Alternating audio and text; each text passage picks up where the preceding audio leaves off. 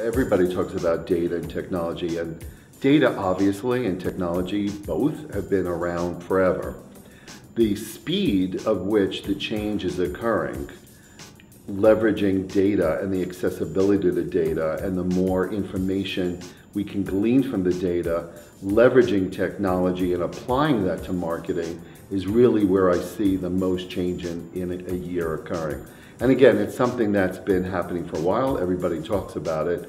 The one thing that's a watch out in all of this, as we know, is the GDPR and the privacy and what that will mean. Uh, not new, because we've always had issues surrounding privacy, but as more and more data becomes available to us, how do we circumvent those issues and concerns, and rightly so, around privacy? I've been in this industry for 30 plus years. It's hard for me to get that out and say it. And we've always had issues in privacy. I started in direct marketing years and years ago, and in direct mail, we had the same issues. They just weren't applied to the data that we have available and the speed of that data today. But as far as privacy issue goes, that's decades old. From my experience, um, it drives us to think more innovatively, more creatively. So I welcome some of this because I believe we do need to protect individuals' privacy and what information we glean. We have to make sure that it's non-PII data that we're, we're getting. Um, where it's really sensitive, we have to ask for permission. Uh, that's critical.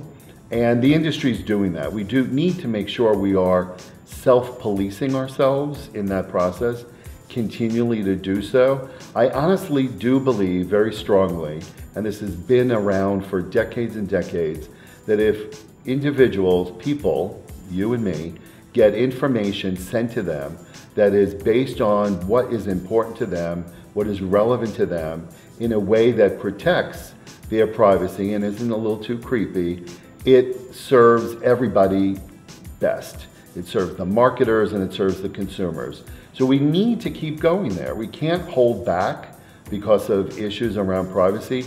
We need to take these and use them as the impetus to move ourselves forward and to become more creative in the solutions that we're looking for. I think that there are a couple things that I have my eye on, and one is voice and voice interaction. Um, that will be a definite game changer. It's not new. We've had voice for a while. It hasn't been connected across devices. Um, I believe that will be a game changer. Um, I also believe that in social and social commerce is becoming very big.